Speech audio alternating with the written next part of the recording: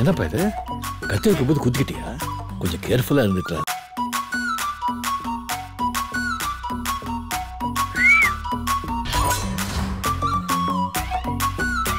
வாங்கிட்டு இருக்காரு. சரி அவர் கொடுக்கறது எதுவும் நான் இப்ப சாப்பிட்டு போறது இல்ல